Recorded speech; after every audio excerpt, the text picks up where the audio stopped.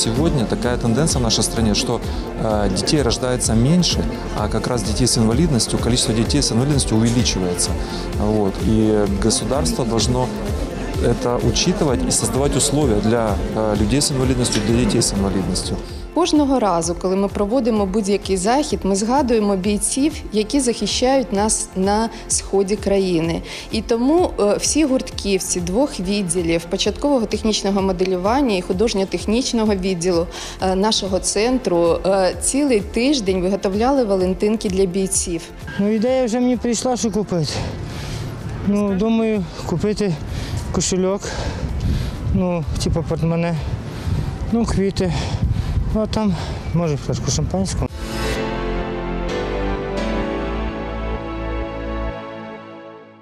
У рамках циклу передач реформи це просто експерти з усієї України обговорювали оновлені процеси розвитку сфери освіти, медицини, екології, є демократії, децентралізації, антикорупції та правоохоронних органів. Важко зібрати в одному місці одночасно е, купу людей з двох міст. Тобто, от е, сьогодні в нас з Дніпром, наприклад, це близько 20 людей з одного боку, близько 20 людей з іншого боку. Кожні своїми думками, кожні своїми ем, якимись проблемами приходять, розповідають, е, як відбуваються в Україні на Буковині, зокрема, реформи. І в тому е, і з іншого боку, це досить потрібний проект, тому що е, в цьому проєкті ми розповідаємо, що насправді реформ не треба лякатися. Експерти, чиновники, дослідники та журналісти намагались у рамках циклу передач реформи це просто обговорити зі своїми колегами з міста Рівне, Дніпро, Івано-Франківськ та інших основні проблеми процесів реформування в Україні. Основна мета проекту це пояснити простими словами всю складність реформ станом на сьогодні. В Україні ну практично одночасно стартувала е, ціла низка реформ, і люди часом лякаються просто, що то таке, як воно, як воно буде, щось розуміють, щось не розуміють. І цей проект покликаний якраз роз'яснити, що не все так страшно, що ми рухаємося і все буде добре насправді. Тобто, ми намагаємося людською мовою е, доступно пояснити людям, що таке реформи в Україні. Перший випуск циклу реформи це просто на телеканалі Чернівці. Ви зможете побачити 16 лютого о 21.00. Микола Швець, Діана Чігак, Чернівецький репортер, телеканал Чернівці.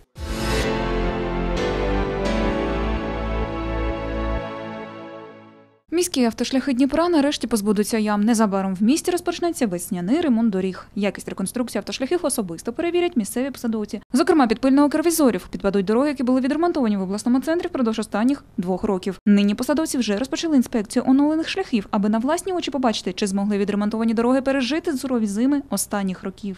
На сьогоднішній день На теперішній час у нас три ділянки автошляхів, які мають серйозні пошкодження. Це Кайдацький та Новий мости, а також ділянка в районі заводу на житловому масиві Західний. З настанням теплої погоди на цих дорогах проведуть капітальний ремонт. До цього часу ми будемо ліквідовувати ямки на автошляхах такими двома засобами, зокрема використовуючи техніку ямкового ремонту із використанням холодного та гарячого асфальту. За словами посадовців, наразі існують проблеми з дорогами не тільки в містах, але й на деяких обласних магістралях. Серед основних причин можновладці називають низький рівень професіоналізму підрядних організацій, відсутність спецтехніки та якість самого асфальту. Виправити всі недоліки на автошляхах підрядники мають вже найближчим часом.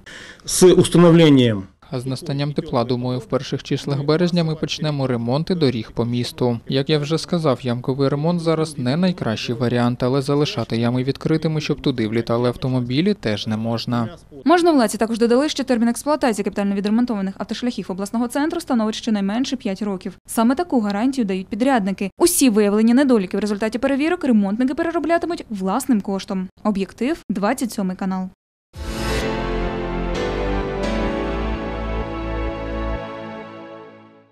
Видите?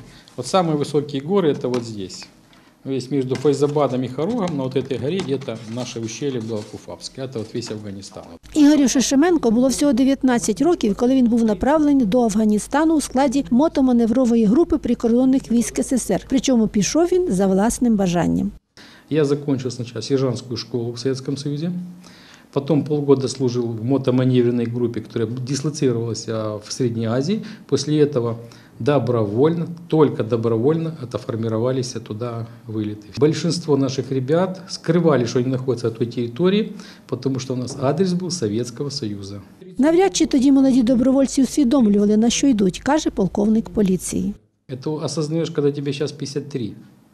А тогда это романтика. Слово патриотизм, оно быстро пропадает на чужой территории, когда ты видишь вот эту грязь, эти кишлаки. Я был там, где нету дорог, где только вертолеты пешком, где летоисчисление 1363 год ихнее. Очаг этот и дым по черному выходит, ну выше двери вот это. Этот запах эм, бараньего сала с дымом я до сих пор помню. І функції прикордонних військ, які знаходились в Афганістані, звичайно ж відрізнялися від нинішніх, каже Ігор Шишименко. Пограничники воевали в глубине территории Афганистана. Зачищали кишлаки, ловили бандформирования, перехватывали караваны. И постоянно были боестолкновения. Тогда слово, когда я служил, только появилось слово душман, а нас нач- называли дальше, раньше вообще-то басмачи. Дні, проведені на війні, забути неможливо. Ветеран Афганістану Ігор Шишименко зберігає в пам'яті безліч різних історій. Серед них і така. Група виходила на перехоплення каравану і запізнилась. Басмачи оказались раньше на перевале, а кто выше, тот всегда прав, сверху то легче. И получилось боестолкновение. Группа наша залегла, э, сопровождающее афганское подразделение, как всегда, убежало.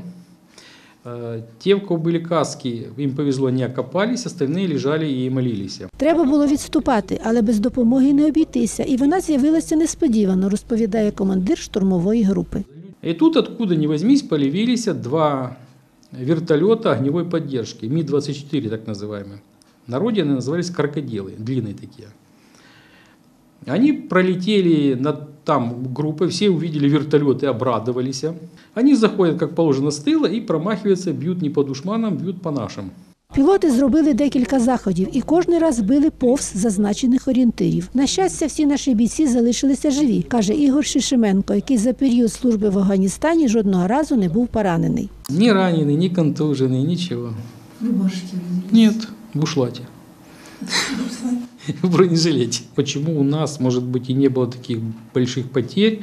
Потому что у нас была вот это, сказал, что минимум 70% это отслуживший год в Союзе. Уже люди понимали, что это такое. Ветерани Афганістану і сьогодні зустрічаються за першої ліпшої нагоди. Хоча в силу різних обставин це вдається не так часто, як хотілося б, але нерідко спілкуються по скайпу, іноді цілими ночами, викликаючи подив тих, хто не може по-справжньому зрозуміти значення слів бойове братство.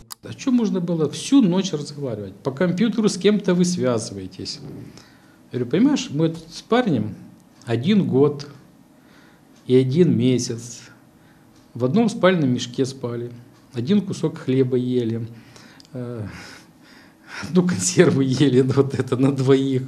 И у нас очень много воспоминаний. Війна в Афганістані перевернула життя сотень тисяч сімей. Хлопчаки, які мріяли про романтичні побачення і дискотеки, йшли на війну в чужу країну, де для них починалася школа життя, в якій чорний тюльпан був аж ніяк не квіткою, а від слів вантаж 200 пробивав озноб. І сьогодні, напередодні 30-ї річниці виведення радянських військ з Афганістану, спогади про ту війну спливають в пам'яті з новою гостротою, а сни у багатьох афганців наповнюються звуками вибухів і обличчями бойових товаришів.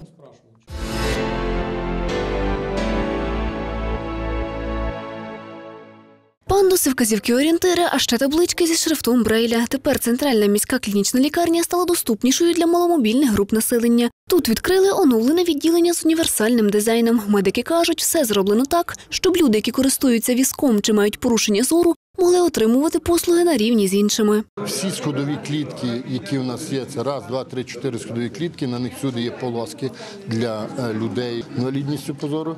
Також на всіх дверях, які є на сходових клітках, це є п'ять поверхів, теж всюди вони поставлені. І практично по всіх е, приміщеннях лікарні, це відділеннях, маніпуляційних кабінетах. Ми всюди це зробили. Всюди поставлені ці е, жовті полоски, овали для того, щоб людина з поганим зором могла орієнтуватись, бачити і була правильно направлена до того призначення, куди вона спрямована. Створювати модель доступної лікарні медикам допомагали особи з інвалідністю. Представник громадської організації Слід Микола Макар пригадує, як рік тому вони з колегами роздумували, як і що тут краще оновити. Визнає, все вдалося зробити досить гарно. Бо ми з Марією Степанівною десь тут проводили такий аудит, десь подавали свої пропозиції, ходили так само, як ми сьогодні проходили по цій території е, цього першого поверху поліклініки, давали свої рекомендації і зауваження. І власне зараз ми пройшлися по цьому знову ж таки поверсі і побачили, що,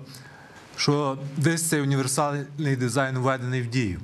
Звісно, що є ще багато роботи. Самі ви побачили, що, що все ж таки ще треба багато допрацьовувати в цьому плані. Вже встигли оцінити оновлену лікарню і незрячі люди. Такі зміни переконують, справді для них важливі. Адже тепер до потрібного кабінету приходитимуть без допомоги сторонніх осіб. Втім, просять, щоб біля дверей ставили таблички зі звичайними буквами. Мовляв, шрифт Брайля не всі знають. Я дуже тішуся, що в нашому місті е, з'явився такий, можливо, ну ну, навіть перший об'єкт, е, і це об'єкт е, ну, лікувальна установа, в якому є вже ну, присутні елементи доступності для людей з глибокими порушеннями зору. табличок шрифтом Брайля і бажаного дублювання рельєфним, звичайним рельєфним шрифтом. Просто це дійсно важливо, тому що, ну, наприклад, так, я з дитинства не, незрячий і вивчав шрифт Брайля в школі, і я його знаю, скажімо, цілком досконало. Так?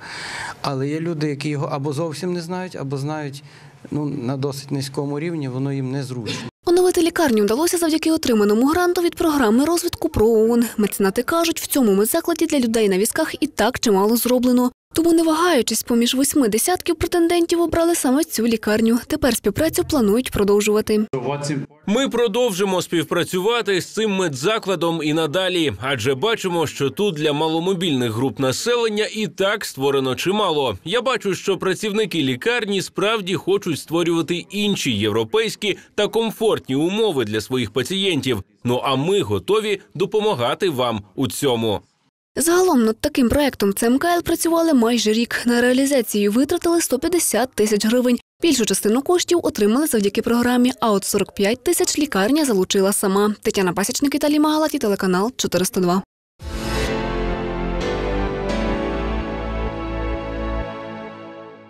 У Слов'янську відбувся 11-й відкритий обласний турнір з плавання «Повір у себе» на призи Героя України, заслуженого майстра спорту Віктора Смірнова. Шестиразовий чемпіон Паралімпійських ігор Віктор Смірнов зібрав понад 130 юних спортсменів з інвалідністю з 13 областей України. Соревнования первый раз проходили в 2006 году в городе Харциске. Тогда принимало участие 50 человек из Донецкой области. Затем турнир переехал в Донецке, в котором принимало уже участие 278 спортсменов. Было 17 областей Украины и 4 зарубежные страны. У турнірі беруть участь діти з вадами зору, слуху, порушеннями опорно-рухового апарату. Для них такі змагання – шанс не тільки повірити в себе, а й підвищити спортивні досягнення. Ну, я плавала только на спине. А потом, когда я начала у второго тренера плавать кролем, так я кролем начала быстрее плавать. Ходять зі спортсменами батьки. Андрію 11 років. До басейну його привела мати. Плавати почав у 6. З тих пір тренування не пропускає. Папа привезет, отвезет, мама оденет, переоденет. То есть хочешь не хочешь, бегаешь с ним вместе. Серед партнерів змагань народний депутат України, призер Олімпійських ігор з плавання Денис Силантьєв. Політик займається підтримкою молодіжного і спортивного плавання і не щоток знає про проблеми спортсменів з інвалідністю. На цю тему захищав дисертацію. Сьогодні на рівні Верховної Ради сприяє виділенню коштів на розвиток інфраструктурних об'єктів. Сегодня такая тенденция в нашей стране, что э, детей рождается меньше, а как раз детей с инвалидностью, количество детей с инвалидностью увеличивается.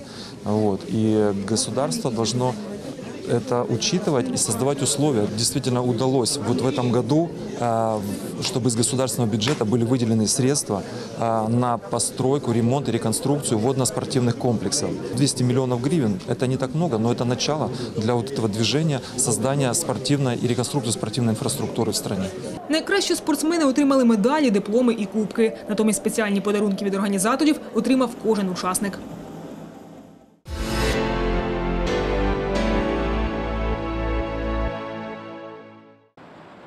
У передень Святого Валентина у Рівному чи не на кожному кроці можна зустріти вивіски з пропозиціями та акції для подарунку коханим. А привітальними листівками та сувенірами заповнені чи не всі прилавки крамниць. Чимало рівнян до Дня любові готуються старанно. кажуть, вибирають подарунки та планують провести день поряд зі своєю половинкою. Ну, знаю, десь поїхати погуляти. Десь в місце, в місце якесь таке, там, де ми ще не були. То раніше був такий, як обичний день, а зараз вже ставлюся до цього більш серйозно, тому дівчині це подобається, коли сюрпризи там якісь роблять чи ще щось. Не тільки завтра, але й щоденно е, своїм рідним е, показувати свою увагу. Ну, звичайно, що буду. Звичайно. Ну, квіти це, напевно, 100%. Про те, що свято лише для закоханих, вважають не всі. Кажуть, робити подарунки у цей день придумали маркетологи. Зацікавлені якісь сувеніри Зараз будуть продаватися. Це все маркетинг ход такий прийшов, щоб людей трошки. Для молоді цікаво. Для молоді цікаво навіть якусь відкриточку отримати, то цікаво. Може, за кордоном воно більш таке, знаєте, може людей більше грошей, більше можуть щось купити цікавіше. Проте подарунок коханій людині можна не лише придбати, а й зробити власними руками, розповідають в обласному краєзнавчому музеї. Тут до Дня Святого Валентина організували майстер-класи для дітей. кажуть, аби приємно здивувати близьких, не обов'язково витрачати гроші. Сьогодні у нас тут майстер-клас проходить. Е, Частина е, розписує печиво імбирне, а частина е, робить листівки вітальні до Валентина. Щоб проявити свої якісь ідеї, якісь фантазії, якийсь креатив, то ще це гарна нагода привітати чи рідних, чи друзів, чи якесь таємне кохання виробом власними руками створеними. Тому що ці вироби вони завжди найбільш теплі, найбільш приємні, і дарувати приємно, і отримувати такий виріб надзвичайно приємно. Свої подарунки діти виготовляють для найближчих собі людей. Хтось старається для батьків, а хтось хоче привітати кращих друзів з Днем Святого Валентина. Адже кажуть, це день любові, а любити можна по-різному. Я роблю цю листівку для когось своїх близьких людей. Для кого вона буде, я ще не вирішила. Е, Тут всередині я напишу побажання. Це буде щось приємне е, з побажаннями любові на все життя. Цю листичку я буду дарувати своїй мамі на День Святого Валентина. Буду її сердечко прикрашати та буду розмальовувати її маркерами. Я хочу подарувати її мамі, тому що ну я думаю, що їй буде дуже приємно, адже я старалася вложила туди свою душу, і я не просто пішла і купила готову Валентинку. Привітати свою другу половинку або ж людину, яку любиш, можна і не витрачаючи коштів, запевняють діти. Головне проявляти це почуття щодня, а не лише 14 лютого. Лідія Снарська, Володимир Захаров. Новини Рівного.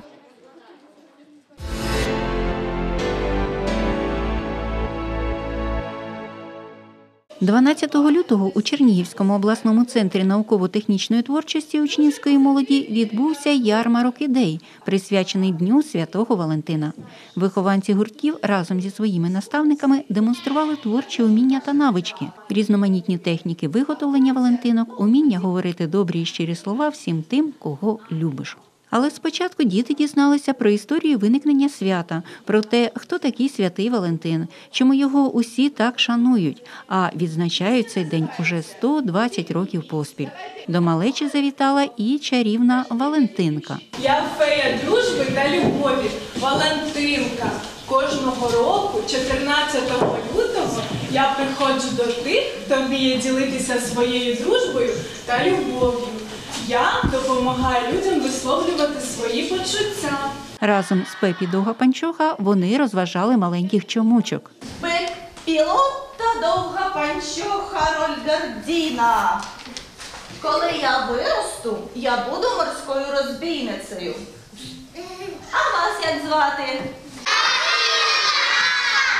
Разом жартували, вчилися говорити компліменти друзям і вчителям, вітали зі святом та демонстрували свої роботи. А маленька Маша, окрім своєї Валентинки, виготовленої у техніці орігамі, зробила неперевершену прикрасу для зачіски, теж у цьому стилі. Юні дизайнерки показали Валентинки у техніці фітодизайну. Інші гуртківці виготовили рельєфні картини у техніці тістопластики з квітами та сердечками. Ще було багато неочікувано цікавих робіт і привітань. Кожного разу, коли ми проводимо будь-який захід, ми згадуємо бійців, які захищають нас на сході країни. І тому е, всі гуртківці двох відділів початкового технічного моделювання і художньо-технічного відділу е, нашого центру е, цілий тиждень виготовляли валентинки для бійців. Ми їх передаємо через волонтерів свою вдячність, свою повагу тим, хто нас захищає. Ці Валентинки вражали і своєю особливістю, і щирістю почуттів, з побажанням миру і швидкого повернення здоровими і неушкодженими. Під час заходу діти розважалися, танцювали, співали.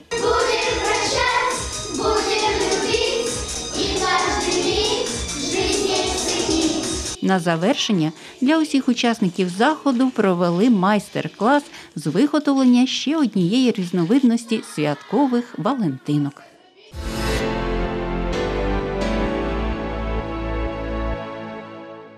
Дуже велике свято. Ем, Це секрет, я не можу сказати, який сюрприз. Щось дуже цікаве і приємне. Нічого не підготувала, чекаю, що мені щось підготують. Ну, ідея вже мені прийшла, що купити. Ну, думаю, купити кошельок, ну, типу портмоне, ну, квіти, ну, а там, може, флешку шампанського. Не знаю, напевно, що. А що з, з коштовностей, скоріше за всього. Якусь цепочку, щось приблизно такого. Особисто для мене 14 лютого це не є свято, тому що я не дотримуюсь е, східних таких традицій у святкуванні. А коханій подарувати можна в будь-який день, не чекаючи якогось свята.